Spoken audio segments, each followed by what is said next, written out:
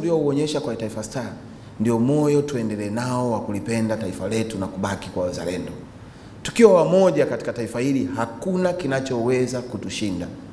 Wasukuma wanasema we become unstoppable, hakuna wa kutuzuia. Wasukuma wanaendelea kusema we become unshakable, hakuna taifa la kutikisa. Na maneno haya Mheshimiwa Rais, naomba wayachukue Watanzania kama sehemu ya utajiri tuliokuwa nao. Leo hii Mheshimiwa Rais, mkoa wetu utaenda kuhosti mashindano ya AFCON Under 17.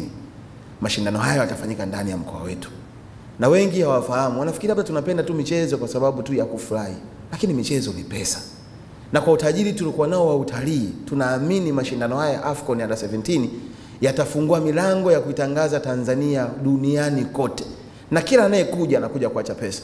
Najua hoteli tumeshaanza kuongea nazo, najua tayari kuna watu wa daladala, bajaji watakuwa nufaika na tipu za watu kwenda uwanjani kurudi, zote hizo ni pesa, na hii ni fursa ambayo Mheshimiwa Rais unazidi kuitengeneza katika sekta ya michezo.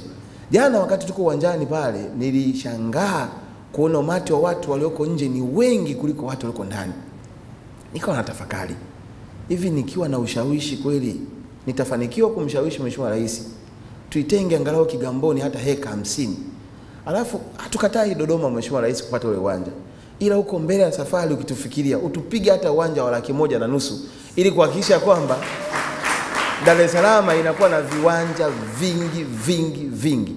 Lakini mwisho kabisa nimshukuru sana balozi wa nchi za Uarabu nilikutana naye nikamweleza, umenipa jukumu la kusimamia michezo kwenye mkoa, na nikamwambia tuna changamoto ya viwanja vya basketball.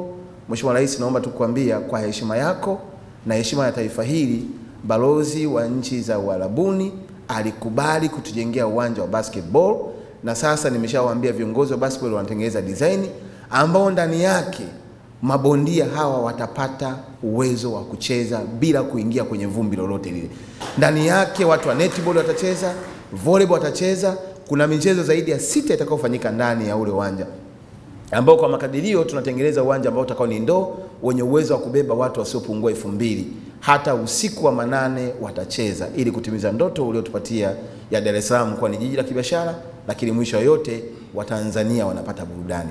Mheshimiwa Rais, naomba radhi kwa tukio la jana, watu wamelewa sana, na na uhakika kuna uwezekano watu hata hawajafika maofisini. Kwa hiyo nitumie fursa hii kuomba radhi mabosi wote walioko ndani ya mkoa wa Dar es Salaam. Hali ilikuwa sio hali, lakini nakuahidi sitarudia tena hiki kitendo cha nusu bei. Mheshimiwa Rais, asante sana.